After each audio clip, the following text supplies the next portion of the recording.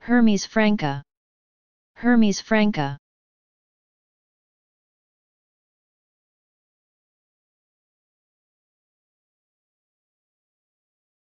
Please subscribe and thanks for watching.